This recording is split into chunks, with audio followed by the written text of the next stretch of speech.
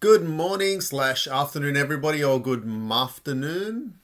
Um, yeah, I got nothing funny. I'm sorry, guys. Um, hope we're all doing well. I hope we're all ready for our next HSIE lesson. This lesson, we're going to be focusing on how the ancient Egyptian farmers lived. We're going to be looking at what they did to farm, the different techniques that they used, and how the Nile River helped them grow and maintain their crops. So our learning intentions and our success criteria is up on the, I was going to say the board, but the screen.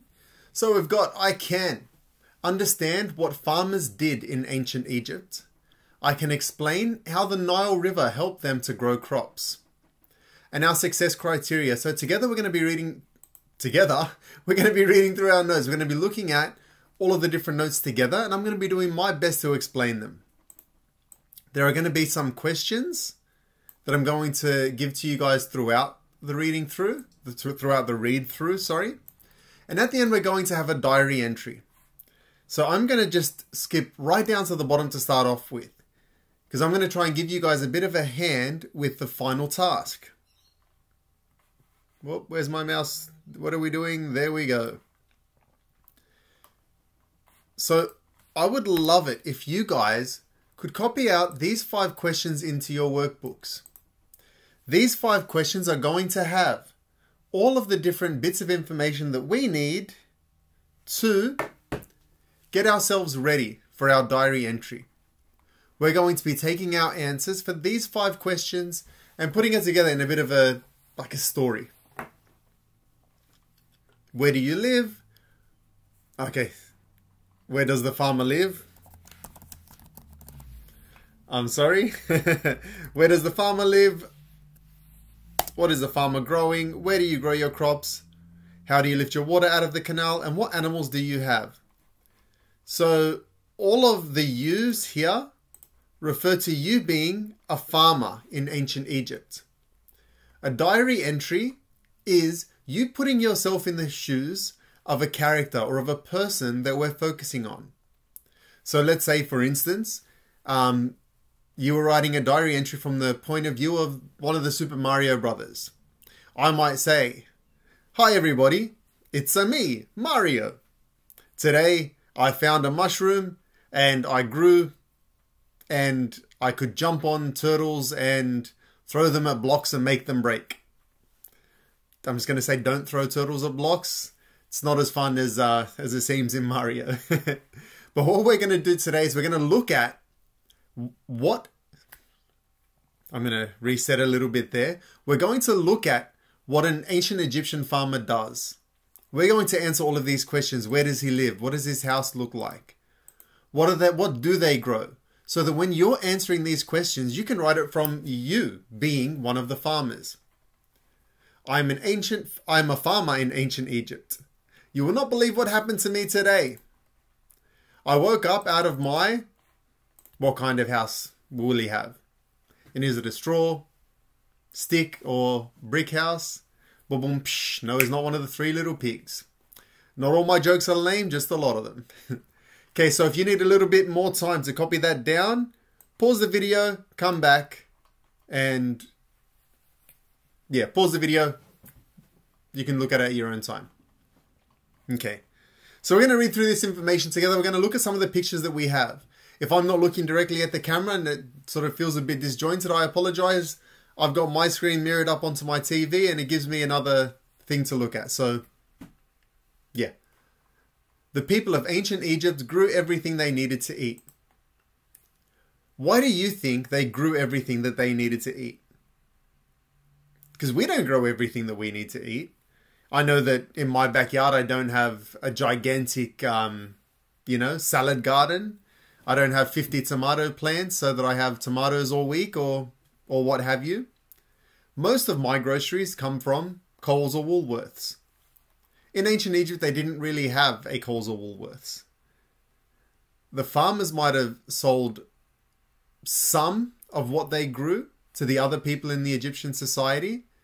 So the farmers here grew what they needed to eat and grew what the other people in their in their area needed to eat. Who were the farmers in ancient Egypt?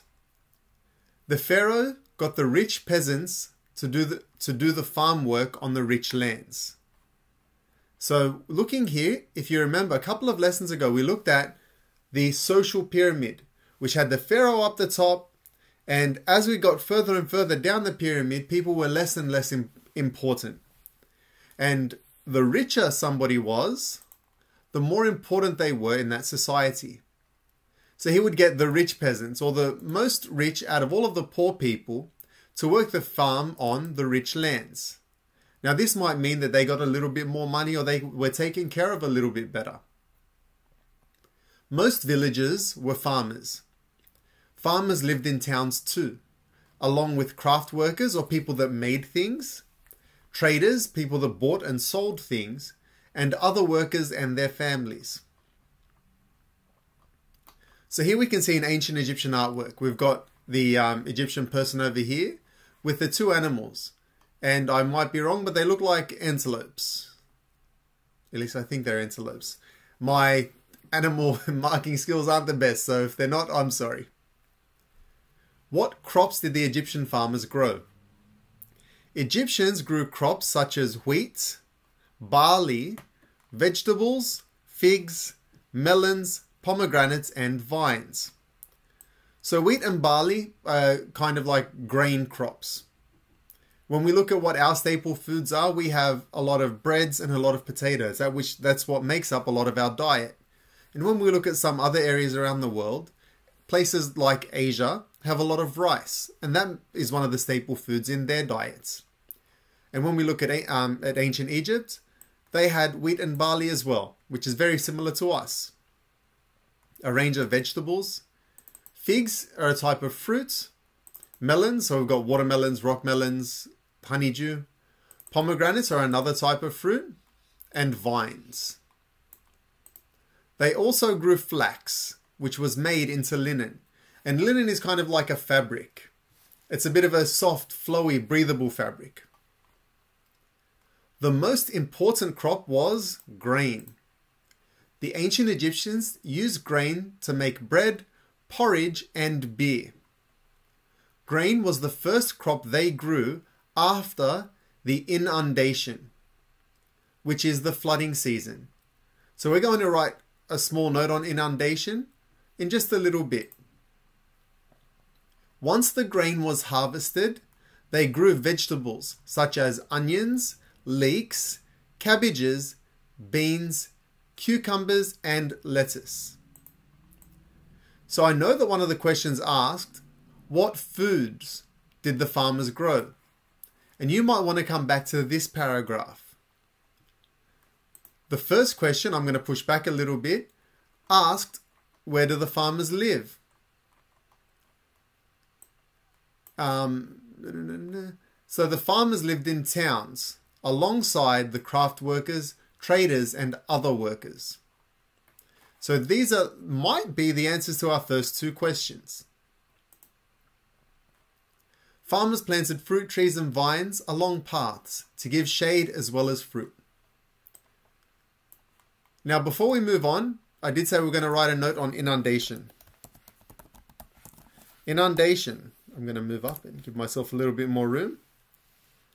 Inundation is the flooding season. This is not where, this is the time where the Nile River flooded. It's brought down black,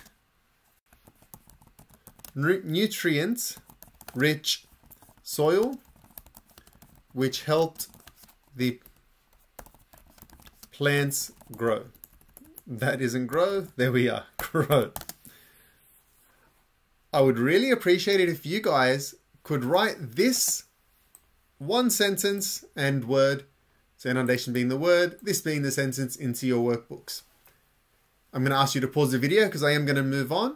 This is all we need in our workbook so far after the questions.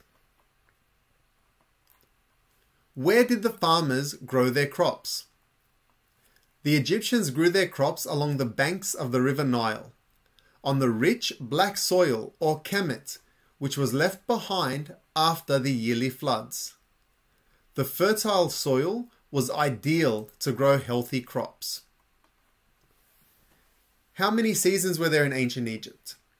So we're going to go over this a little bit quickly. You don't have to remember all of the seasons. We just need to know that there are different times and different things might happen in the different seasons.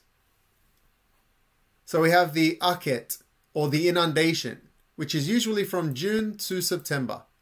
And this is the flooding season. No farming was done at this time as all of the fields were flooded. Instead, the farmers worked for the pharaoh, building pyramids or temples. Some of the time was spent mending or fixing their tools and looking after animals. Peret, which is from October, so right after September, October to February. This is the growing season. In October, the floodwaters receded or went back, leaving behind a layer of rich black soil. This fertile soil was then ploughed and seeded. Now we need to remember that the ancient Egyptians didn't have a lot of the tools that we have now. Our farmers might use tractors to plow their land. And what we mean by plowing is that they break up break up the top layer of soil to give the seed somewhere to go into. It gives the soil a little bit of air, makes it a bit softer and helps the plants grow out of it. So the ancient Egyptians used to use a lot of hand tools. So they would plow the fields with their own hands. Sometimes they would even um, put external tools on animals. So they would have an animal drag a plow and they would sort of aim it and uh, from behind and use that to break up the top layer of the soil. Then we have Shemu, which is from March to May. And this is the harvesting season. This is when fully grown crops had to be cut down and harvested and removed before the Nile flooded again. It was also the time to repair the canals ready for the next flood. Why was it important that they harvested or took out all of their plants before the Nile River flooded again?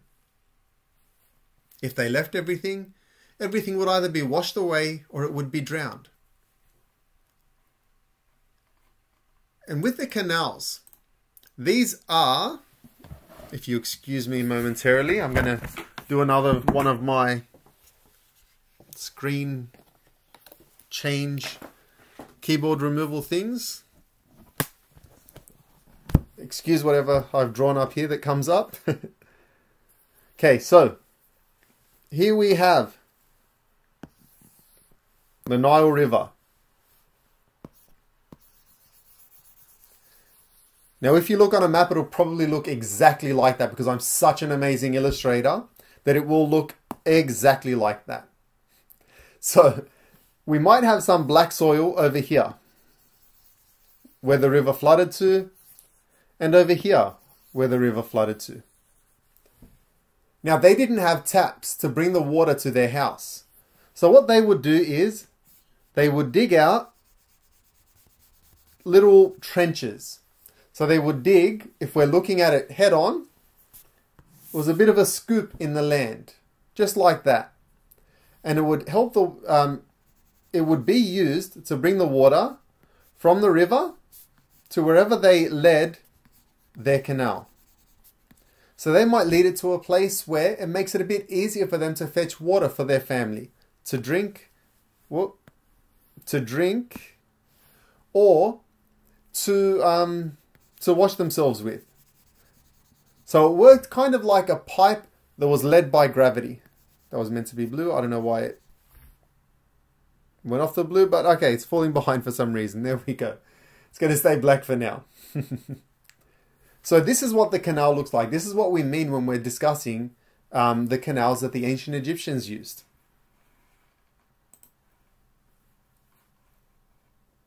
Okay, where were we? Yes, it was the time where they um, repaired the canals ready for the next flood. So that, that way, the next time the water flooded through, their canals were prepared to take water to um, wherever the Egyptians needed it. What were the two main farming seasons? The word seasons is left, left out here, I'm sorry. And I've just taken my keyboard off, so I won't fix it right now. The main farming seasons were the growing and the harvesting season.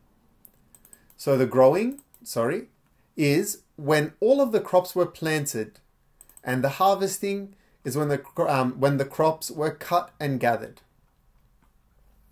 So we're going to focus on one of the things that was grown. This one being corn. Reapers cut the ripe corn with wooden sickles, um, which are edged with sharp flints. So, no, this picture doesn't have a sickle. A wooden sickle is kind of like, think back to some of the cartoons you've seen. You might see a Grim Reaper holding a long stick, and on the end it has a curved blade. And they use that to cut down the, um, the branches of the corn so that they could collect it. Women and children followed behind the reapers to collect any fallen ears of corn.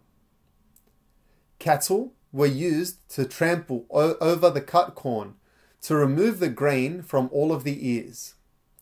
So, to get the um, little bits of the yellow grain off of the corn, they would use cows to step on it and to crush it to get all of those grains off. The grain was tossed into the air so that the breeze, the wind, blew away the light, useless chaff. So all of the bits that they didn't want were blown into another section. Here we can see an ancient Egyptian farmer using a plow on the back of an antelope. So he's got his stick dug into the ground to break up the land so that they have somewhere to put the seeds and one of the women are following behind, throwing the seeds into the ground, giving them all of these different plants. What was the flooding season in ancient Egypt? Every June, the Nile flooded. This was known as the flooding season. During this time, the farmers would mend or fix their tools or make new ones. People would go fishing for food or extra money. What farming tools did they have in ancient Egypt? Ancient Egyptians had simple farming tools, such as winnowing scoops, hoes, rakes, flint bladed sickles, and plows. Okay, so scoops were used to scoop up the land. Hoes. They are, I don't know if I can draw on this page, but we're going to find out together. Yes, we can. that's kind of what a hoe looks like. If you've played Minecraft, you know that it's used to break up the tops, uh, the top bit of the soil. Over here is a hoe that's connected to an animal. Flint bladed sickles.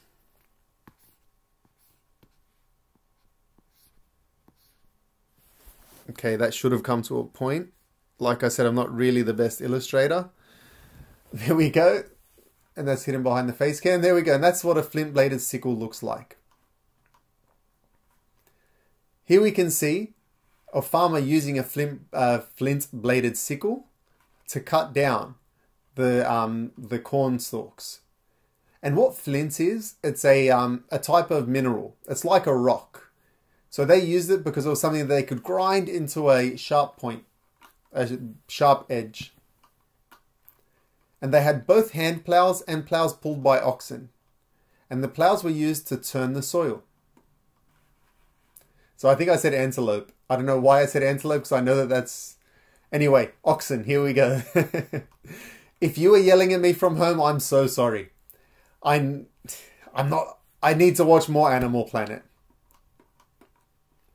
Another piece of equipment used by farmers was the shaduf see further down the page. So we're going to get there in a little bit.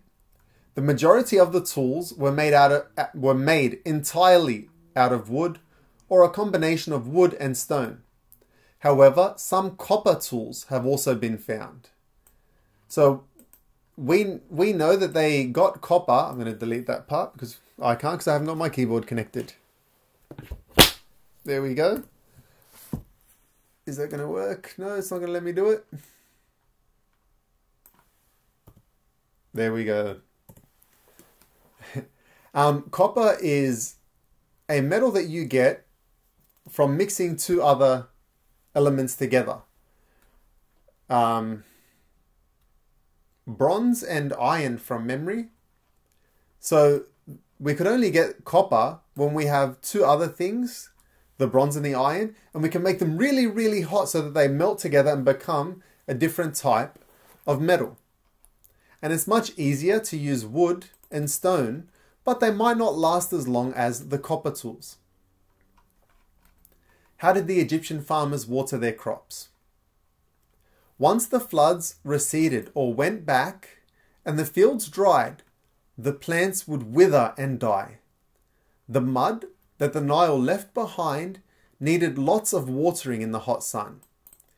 Now, when we say hot sun, I tried to highlight that, there we go. When we say hot sun, we need to remember where um, Egypt is.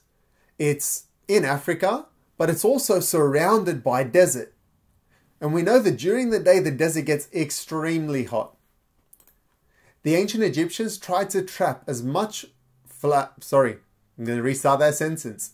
The ancient Egyptians tried to trap as much flood water as possible, so they did not have to constantly get water from the river.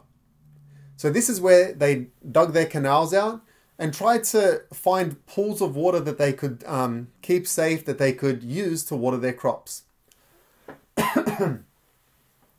Sorry, needed to clear my throat there. They built mud brick reservoirs to trap and hold water. They also had a network of irrigation canals that filled with water during the flood and were refilled from the reservoirs. So they had the river that led to canals, that led to little pools, that might have led to crops over here, or even crops very close to the river, wherever they decided to grow them. How did they lift the water from the canals onto the land? To lift the water from a canal, they used a shaduf, or a shaduf. A shaduf is a large pole balanced on a crossbeam, a rope and a bucket on one end, and a heavy counterweight on the other. By pulling the rope, it lowered the bucket into the canal. The farmer then raised the bucket of water by pulling down on the weight. He then swung the pole around and emptied the bucket onto the field. So I'm going to try and zoom in just a little bit to give you guys a closer look at this picture. So we can see we have the weight on one end with a big beam and a little bucket. So they would drop the, the pull down on the rope to get the water filled, the bucket filled with water, lift it up, and then walk it around to get it to um, to use the water to water the crops. Here we can see another wall painting of the Shaduf. I was right the first time, it is Shaduf. It's a machine used to move water from a lower place to a higher place. What animals did the Egyptian farmers have? Animals were very important to the Egyptian farmers. Animals helped them with jobs like trampling in the seeds, pulling the plough, eating unwanted grain or wheat, and providing the Egyptians with food and drink. They kept animals such as cattle, goats, pigs, ducks, cows, and geese. So when we say trampling the seeds, you saw the um, female farmer throwing the seeds on the floor. And the animals would step on these seeds to get them deeper into the ground. They would pull the plow using their strength to break up the land and they would eat unwanted grain or wheat. Things that they didn't want, the animals would eat them. And some of the animals would be would be milked to give them milk, and some of them would be used for uh, for their meat. And here we can see some of the different animals that the Egyptians had. A whole range of animals. I think there's an ostrich, a jackal. Yeah, that, that it might be an antelope, but I'm a bit uh, shy with calling another animal an antelope? what other jobs did the peasants do in ancient Egypt? The peasants also hunted for antelope in the desert, beyond the hills, and they fished in the Nile. In ancient Egypt, for the most part, whatever job your father had, you had. If he was a farmer, most probably when you grew up, you would become a farmer. And if he was a soldier, you would likely grow up to be a soldier as well. In ancient Egypt, jobs were inherited, which may which means that the child gets what their parents have. So if a, their parent is a farmer, then they will be a farmer. On the other side of that, if your parent is the pharaoh, then you're probably going to be the pharaoh. When they die, of course. Farmers divided or planned out their time around the three seasons the flooding, the growing, and the harvest season. The flooding season. So, this is giving us a little bit more detail in the flooding season. Each spring, snow on the mountains would melt. The Nile River would flood. This was a very good thing. When the waters receded or came back, pushed back, sorry, they left behind fertile soil. Crops could easily be grown in this black, rich soil. The ancient Egyptians called this soil the gift of the Nile. Farming was not as easy as it might sound in ancient Egypt. Tools were simple. Cattle needed care to be useful. Snakes and jackals roamed the field. Farmers had to barter or trade many of their harvested crops for the things that they and their animals needed so that they could plant more crops. There was also a little chance of improving their life. Most of the time, if you were born a farmer, you would always be a farmer. And that's how things were done in ancient Egypt. So now we're going to have a look at our diary entry and our five questions. So, when we're looking at a diary entry, it's like we're writing or we're imagining someone write in their diary. If you guys have seen a lot of the, like the Disney Channel shows, um, I can't think of any right off the top of my head, but uh, you might see some of the characters write in their diary. Dear diary, today I went to school and Mr. Hosni's head was so shiny that it made me go blind for a minute. Except in this situation, we're writing not from our perspective, but from somebody else's. We're pretending that we're somebody else. Dear diary, I'm a farmer in ancient Egypt. You won't believe what happened to me today.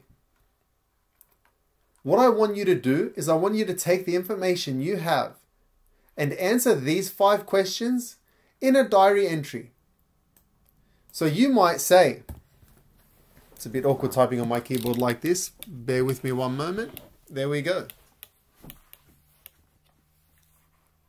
So you might say, I went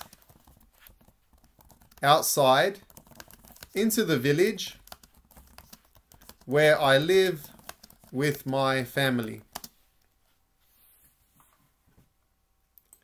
So where does the farmer live? In the village with his family. What are you growing? I went out to check on the crops. Full stop. The figs are growing well. You could also talk about all of the other crops that you're growing. Where do you grow your crops? On the black, nutrient rich something. How do you lift water out of the canal? You might have to shadoof your own answer. What animals do you have? And we spoke about that a little while ago. What I want you guys to do, if you are stuck on any of the questions, please feel free to message me on our Google Classroom or send me an email. My best bit of advice to you if you are a bit stuck, go back through the video, maybe rewatch it again or look for the parts that you need to look at to help yourself answer the questions go back, flick back to something that you want to um, look at a little bit deeper. Or if you're feeling one, I, I think actually, I'm not going to offer that.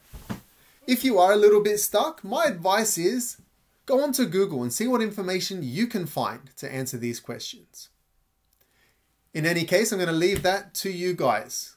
Thank you all for watching. If you need anything from me or any of your other teachers, please feel free to email us or message us. I hope you have a good day. I hope you um, get through the work, and I'll see you later.